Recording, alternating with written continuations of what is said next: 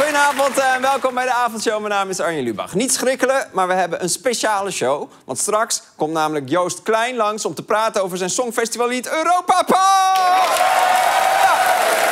Maar, dat is straks. We gaan eerst even naar onze collega's van WNL, want die hadden vanochtend ook een bijzondere uitzending. We beginnen deze ochtend even net iets anders dan normaal. Uh, ja, want wij zijn zelf in het nieuws. Ja, inderdaad. WNL is zelf in het nieuws. En niet omdat ze een Emmy hebben gekregen voor hun verslag over verdwijnende poffertjeskraam in Oost-Gelderland. Nee.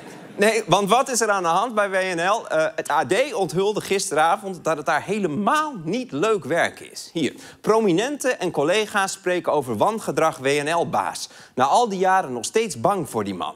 En uh, het gaat dus, pas op, om deze man. Bert Huisjes. Hij is al uh, sinds 2011 hoofdredacteur van WNL. En hij zou zich stelselmatig schuldig maken aan uh, pesten, intimidatie, manipulatief gedrag en zwangerschapsdiscriminatie. In het AD uh, noemen oud-medewerkers WNL een vergiftigd nest. En ze noemen Bert Huisjes Bert Lusconi en Angry Bert. Angry.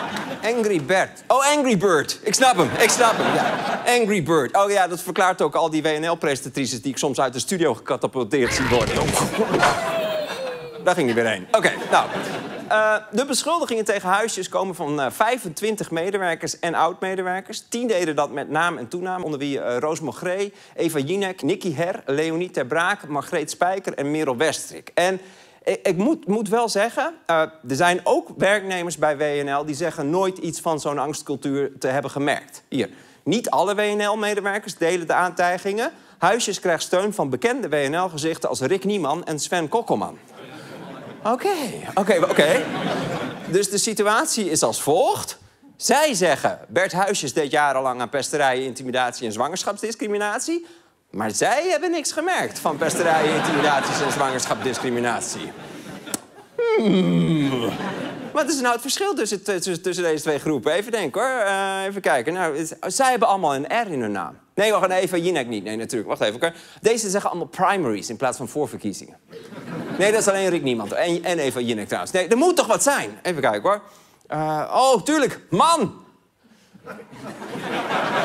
Hun naam eindigt op man. Dat is het. En van deze allemaal niet, denk ik. Dat is het toch?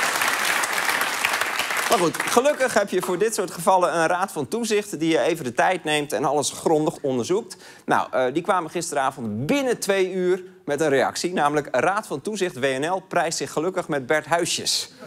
Wauw. Dit is dus dit is, dit is geen wat erg. Dit is zelfs geen jeetje. Dit is Bertje Huisjes. Bert Huisjes is een hele mooie baas. Dit is... Regeringscommissaris uh, grensoverschrijdend gedrag Mariette Hamer was dan ook not amused. Het begint met het serieus nemen van de meldingen.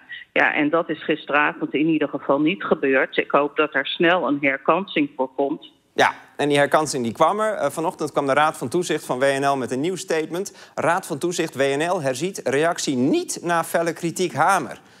Bertje, Bertje, huisjes! Bertje.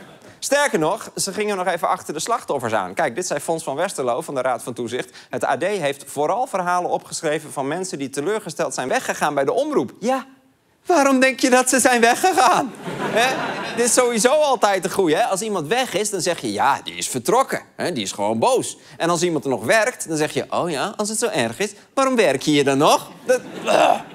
Aan de Raad van Toezicht heeft de WNL-redactie dus helemaal niks. Uh, des te dapperder dat ze bij Goedemorgen Nederland gewoon doorgaan met hun werk. De Raad van Toezicht van WNL zegt open te staan voor uitbreiding van de hoofdredactie en houdt de al genomen maatregelen in de gaten. En voor nu krijgt u gewoon de ochtendshow van ons zoals u die gewend bent. En dan gaan we door met iets heel anders. Klemmende deuren of scheuren in de muur. Ja. Goed idee, snel door naar huisjes die wel instorten. Heel veel sterkte daar. En dan, ja. Gaan we door? Door met voetbal, want uh, vandaag werd bekend dat Cristiano Ronaldo een wedstrijd geschorst is door de Saoedische Voetbalbond vanwege een obscene gebaar. Ja, afgelopen zondag deed Ronaldo dit richting fans van de tegenstander.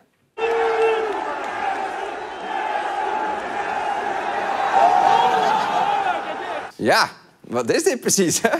zeg het maar. Wat is het? Wat is het? Nu.nl die noemde het dus obscene. Eh, het Algemeen Dagblad omschreef het als een pompend gebaar voor zijn kruis. Oké.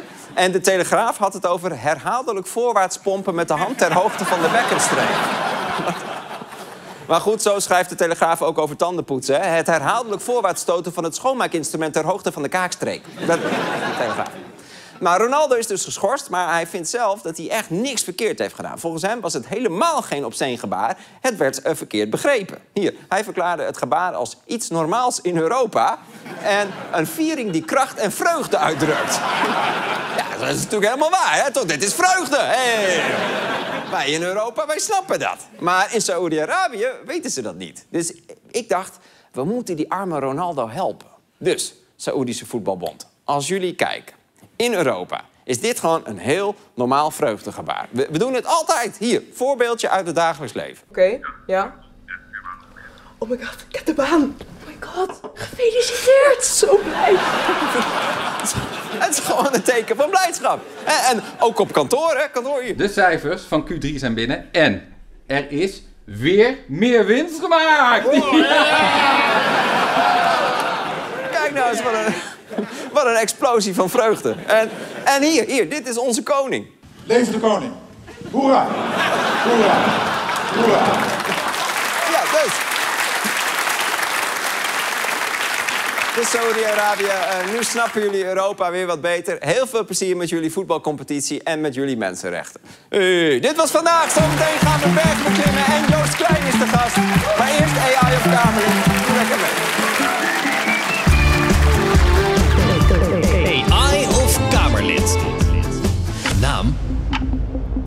Hans-Peter Top, partij, D66.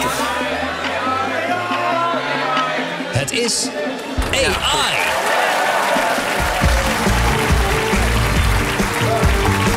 Oh ja, dat is ook nog wel een leuk verhaal. Kan ik dat nu vertellen? Ja, oké, fuck it. Nou, ik, ik vertel het gewoon. Super gênant. Ik was een keer op zo'n feestje met allemaal BN'ers. En op een gegeven moment komt... eh, wie komt er binnen? Nou... Oh, sorry, even tussendoor.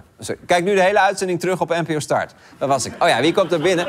Met zijn haar helemaal door de war. En nou, helemaal zijn broek op zijn knieën. En, eh.